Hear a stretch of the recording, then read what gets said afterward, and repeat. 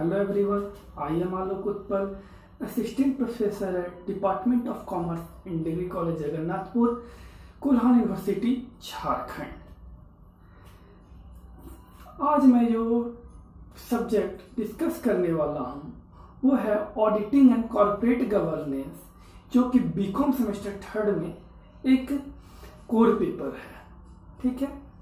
तो इस सब्जेक्ट में मैंने कल डिस्कस किया था इंट्रोडक्शन ऑफ़ ऑडिटिंग आज मुझे, आज जो मैं डिस्कस करने वाला हूँ, वह है ऑब्जेक्टिव ऑफ़ ऑडिटिंग आज का टॉपिक मेरा क्या है? तो ऑब्जेक्टिव ऑफ़ ऑडिटिंग चलिए, हम लोग स्टार्ट करते हैं. हम लोग ऑडिटिंग के बारे में पढ़े थे कि एक इंडिपेंडेंट पर्सन द्वारा जो जॉब के लिए क्वालिफाइड हो बुक्स ऑफ़ अकाउंट्स ऑफ़ वाउ एंड वाउचर को एग्जामिन करता है एंड उसका एक्यूरेसी को वेरीफाई करता है, वो सही है क्या नहीं है?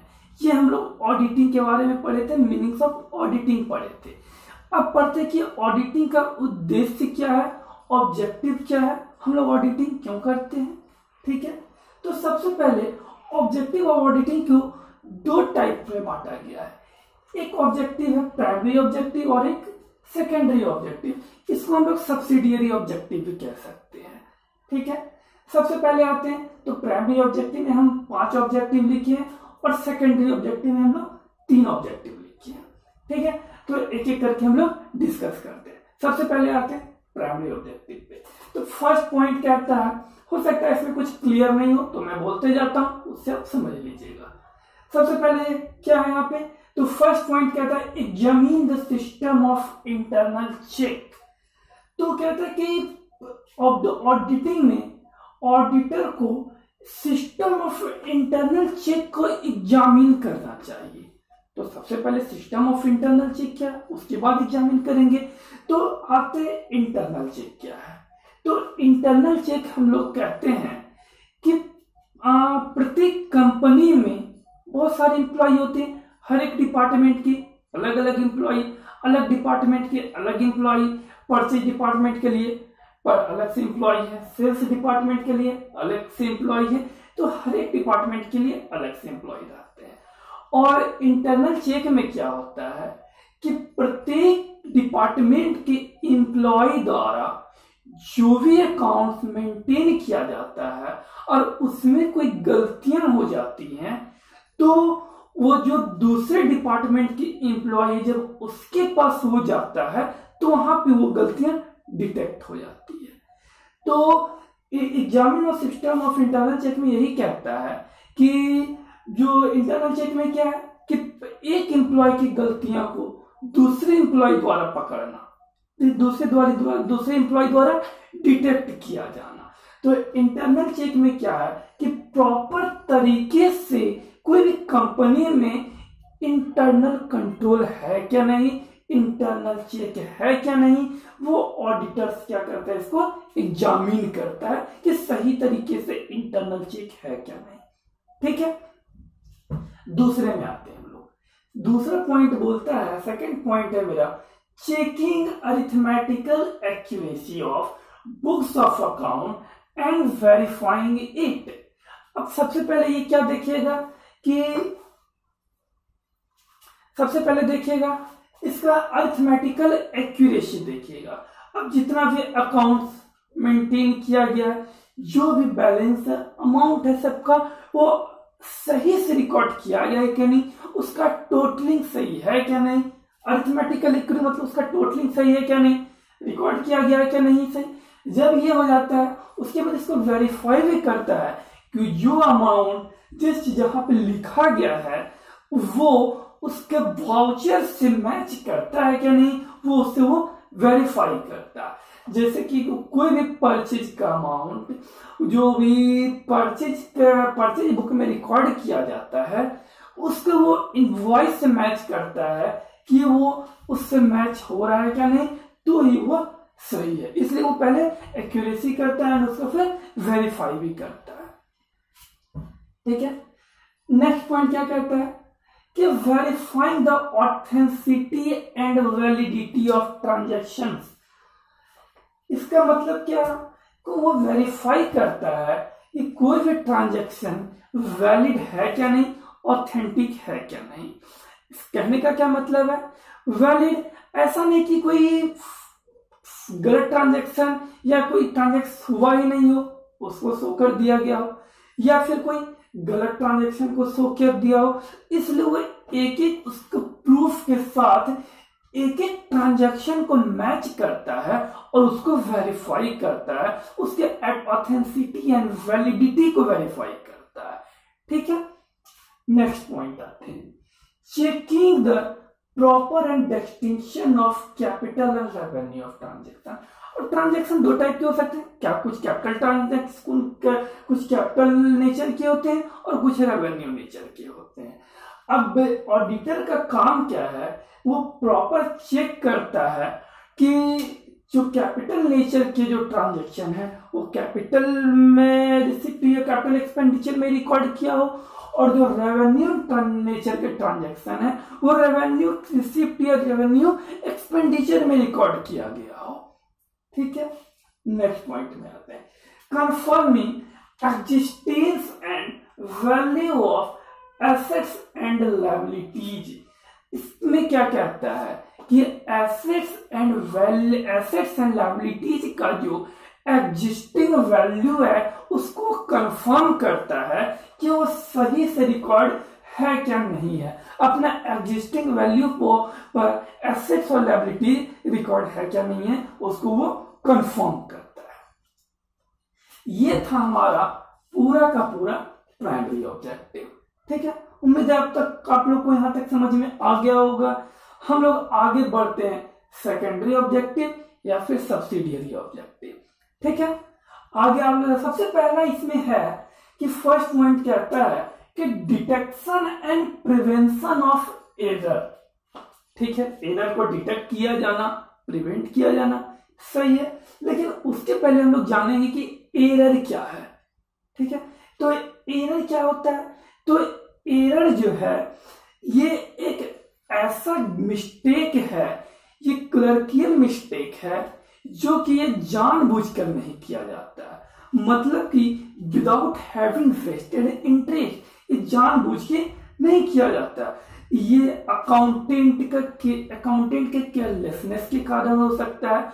उसके नेग्लिजेंस के कारण हो सकता है? या फिर उसके लैक ऑफ़ नॉलेज के कारण हो सकता है? तो इस टाइप की गलतियाँ, इस टाइप की मिस्टेक को क्या कहते हैं? एरर कहते हैं। अब एरर को जो अब अब एरर हो गया।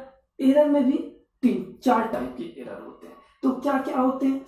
एरर में जैसे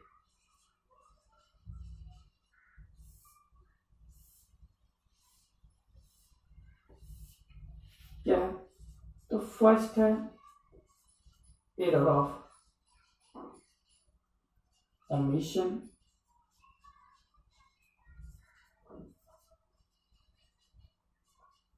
error of commission error of principle and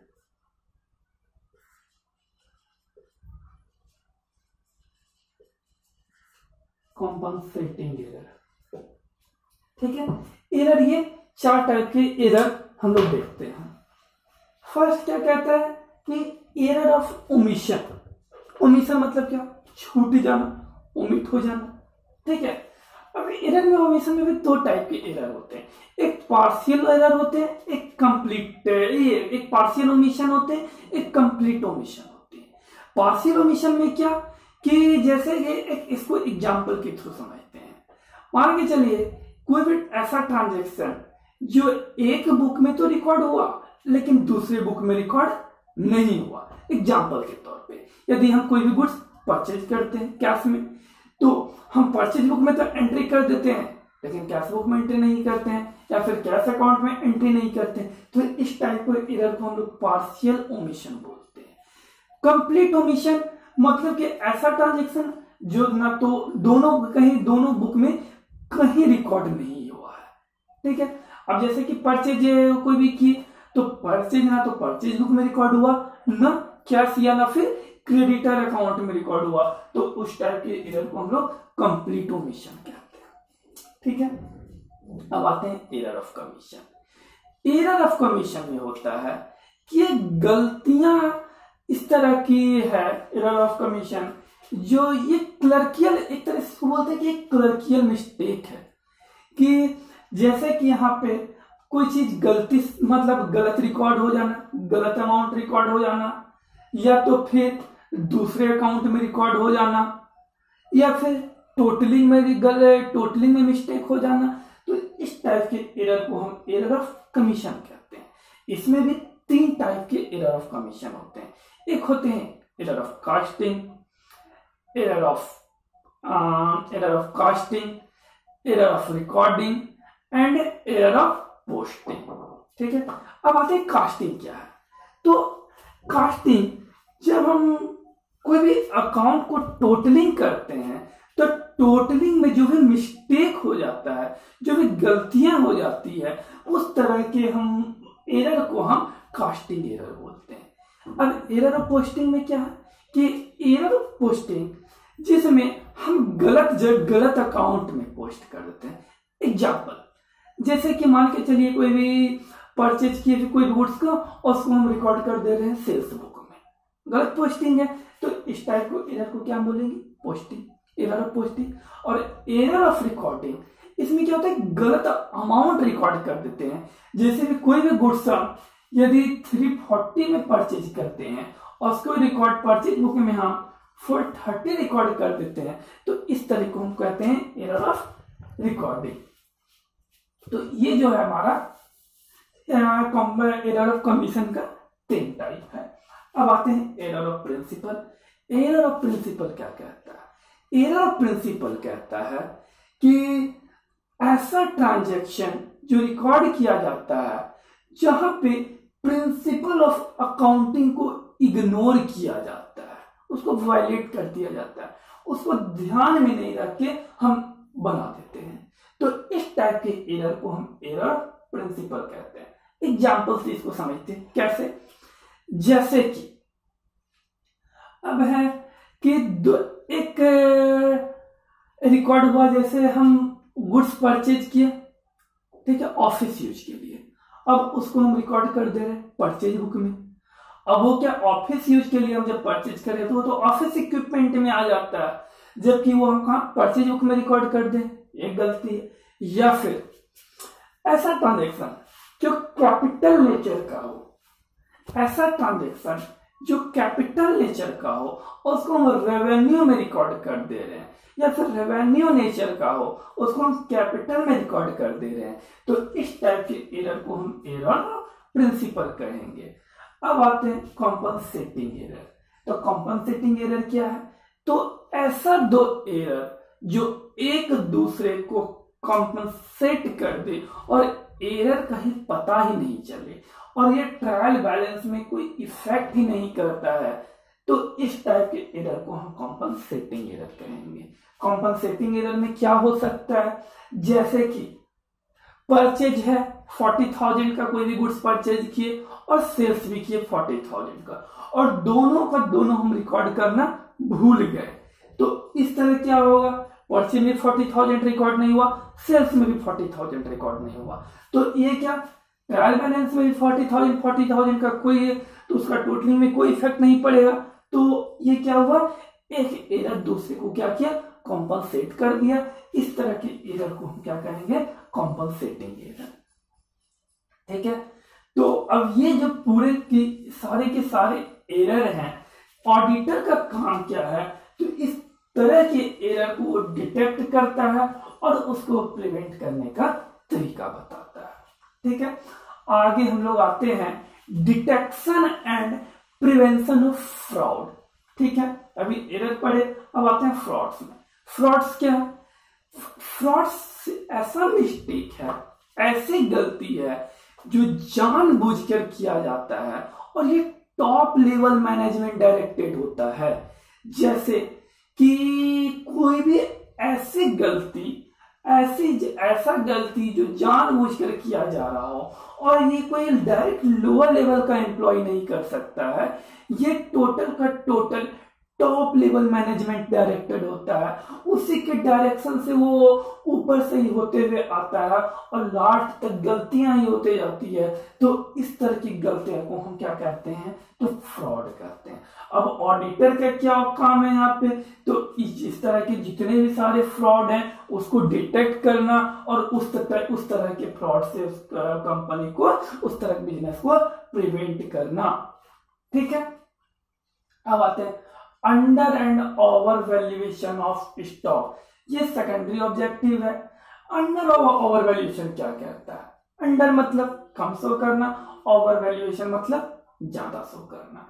अब स्टॉक क्या कहता है कि स्टॉक जब हम मेंटेन करते हैं तो हो सकता है कंपनी अपने फ़ायदे के लिए कभी स्टॉक को अंडर वैल्यूएशन शो कर देती है, कभी फ़ायदे के लिए ओवर वैल्यूएशन शो कर देती है। तो ऑडिटर का काम है कि इस तरह के जो गलतियाँ हैं under valuation over valuation of stock कहीं भी हो रहा है, इसको ये डिटेक्ट करे और इसको एग्जामिन करे जस्टिफाई करे। ठीक है? तो ये है ऑब्जेक्टिव ऑफ़ ऑडिटिंग ओके ये पूरा हम लोग क्या एक बार देख लेते हैं क्या क्या हम लोग पढ़े। ऑब्जेक्टिव ऑफ़ ऑडिटिंग में दो टाइप का ऑब्जेक्टिव हम लोग पढ़े। एक प्राइमरी ऑब्जेक्टिव पढ़े, एक ये सेकेंडरी ऑब्जेक्टिव पढ़े। प्राइमरी ऑब्जेक्टिव में क्या है? तो हम लोग इसमें पाँच पॉइंट देखें। पाँच पॉइंट, पहला पॉइंट क्या है? Examining the system of internal check दूसरा क्या है? Checking arithmetical accuracy of books of account and verifying it तीसरा क्या है? Verifying the verify the authenticity and validity of transaction चौथा क्या है? Checking the proper and distinction of capital and revenue of transaction. पांचवा क्या है?